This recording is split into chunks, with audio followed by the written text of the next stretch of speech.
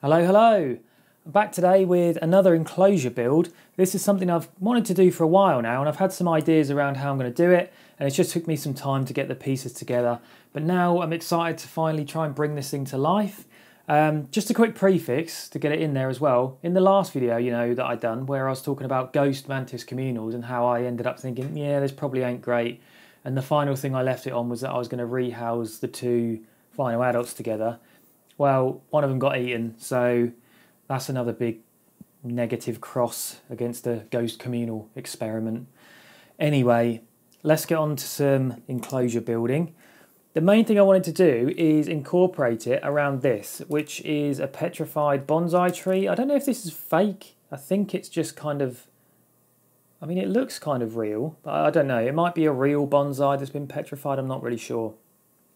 This was in an aquarium and I did do a video a while ago where I made a bonsai tree inside an aquarium, but I've since kind of ditched that tank and now I've got this spare. So what I want to do is make kind of a zen type garden with a bonsai tree in the middle of it.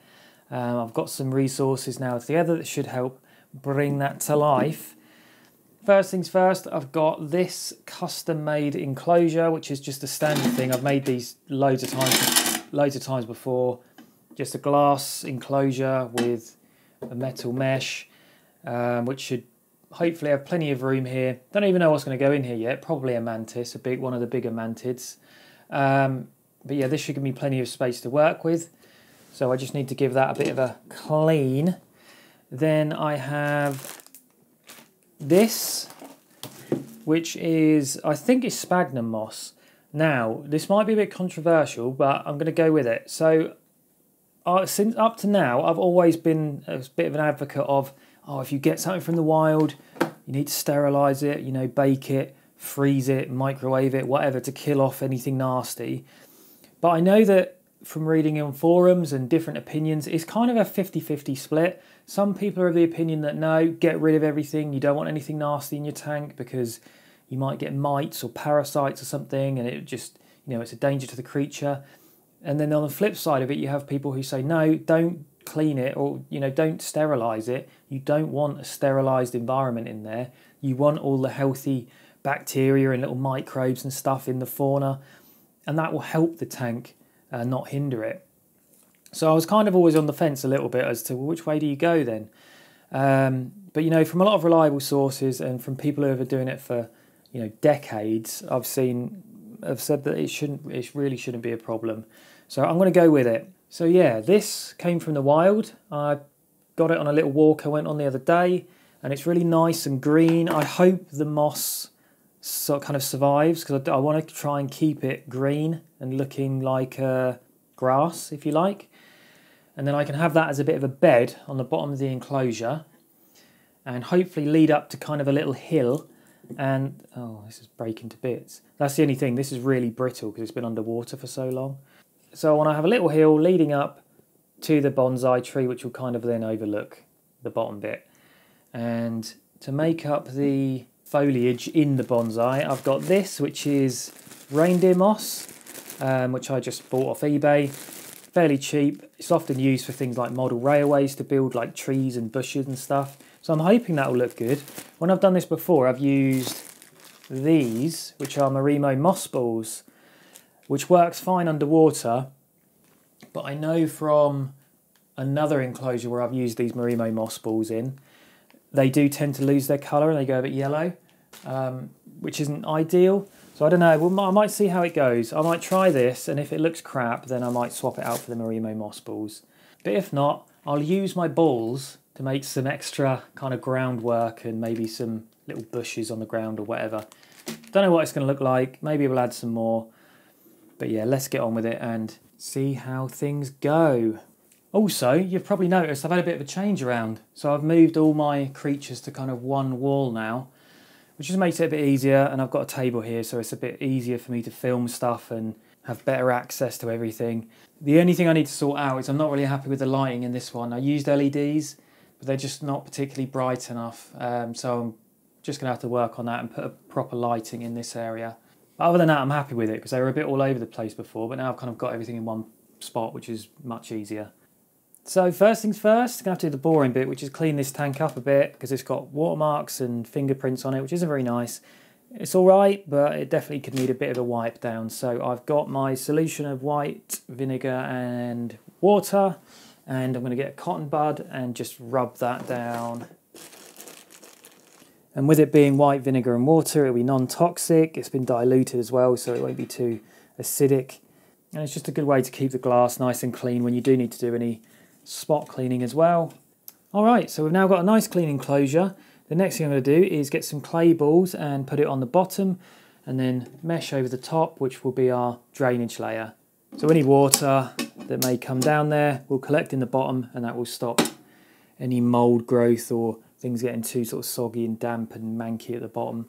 So I'm not going to use a lot, just enough to allow for the water to collect if needed at the bottom there. Now I'll put the window screen mesh in, which will then stop the dirt just kind of falling through and filling in the vacant space that we want the water to go into. So I also actually got this big bag of sphagnum moss and the purpose of this, rather than, because I kind of, the other bit I managed to pull up as an actual bit of a mat, whereas this has just randomly been pulled out. Um, but it's really good for, well, it's good for decor, but also I'll put a little layer of this over the top of the mesh because it will again just aid in stopping any dirt falling through the gaps. All right, and next I've got all this good stuff, which is the natural mulch that I got from outside. And I might just mix that in with some of the store-bought peat and cocoa fibre. Just so there's a lot of, a big mix of different types of dirt. And I want to build this area up a little bit so the bonsai can kind of sit in the corner overlooking the rest of it. Don't need a whole lot of dirt in here because it's not going to be housed a housing for anything that burrows. It's more just a base point for the moss to hopefully propagate on.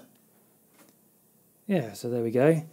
That should work. Now we just need to add our moss for the grass. I'm thinking as well, before I get too gung-ho with sticking this in, I'm probably going to try and remove some of the dead leaves and stuff that are sort of stuck to it, just because we want it to be like a nice lush grass. A few woodlice running around in here I can see, but they won't do any harm. That's most of it gone. I just wanted the bigger leaves to not be in here because that will detract away from the bonsai kind of aesthetic. Yeah, you can see it's just like a mat. I think the best way to do this is probably to break it up into clumps actually, and then we can kind of place it in. Oh, some wood lice on the loose.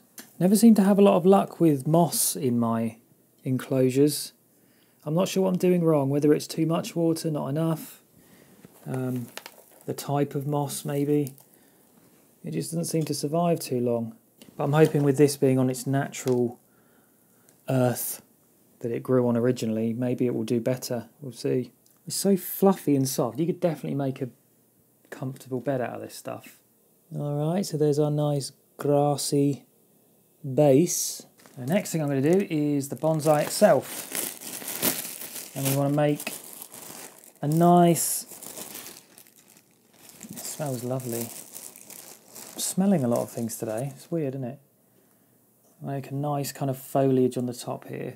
I just hope it looks real.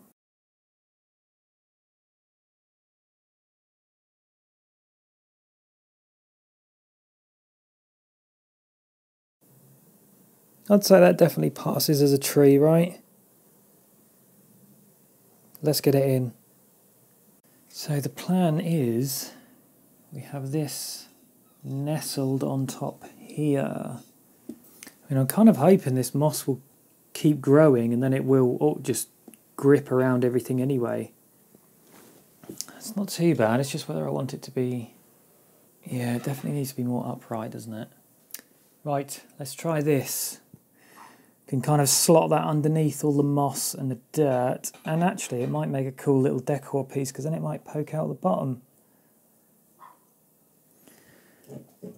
Yeah, I quite like that. There, that's cool. Yeah, just a bit more upright support for the tree. I just really hope this moss stays green. Alrighty, so the only other thing is these moss balls and what to do with these. I've got this stuff now and I'm not really sure what to do with it. I don't want to detract too much away from the moss and stuff. I might just have it at the sides or something. So I've also got this uh, mossy branch and I'm thinking actually that might be quite cool in there. It sort of needs something at the front here, doesn't it? So I would say this is pretty much done. And I'm actually really proud of how that looks. I think that's my favourite enclosure. Just remains to be questioned then, who are we going to put in here?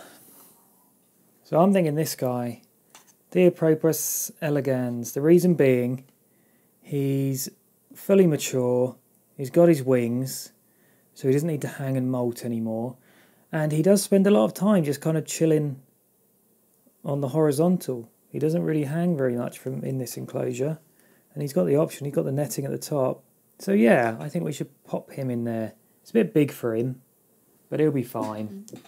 And my other mature mantids are either females who'll probably end up laying an ooth in there, um, or bigger mantids that probably needs a bit more side space to hang from and yeah this wouldn't really be appropriate for them but I think for this little chap it'll be ideal but I'm really happy with how that's turned out it's definitely going to be one of my kind of centerpiece enclosures and hopefully the moss will hold up over time as well because it would be great to have this as a proper bioactive enclosure and keeping that really nice vivid green colour and there we have it my bonsai enclosure Hope you enjoyed the video. Hope you got some tips maybe from it. Let me know if you've got any comments or anything you feel like I could do better or any suggestions, anything like that. If you like this kind of content, I usually post videos at least once a week, so consider subscribing. I've also got an Instagram and a Twitch, which you can find down in the description. But until next time, take care and I'll see you soon.